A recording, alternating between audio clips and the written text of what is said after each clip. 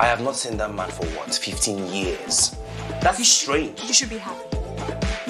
You know, every time I bring up something about you meeting my relatives, you just shy away. Did I do something wrong? What? You, you, you saw what?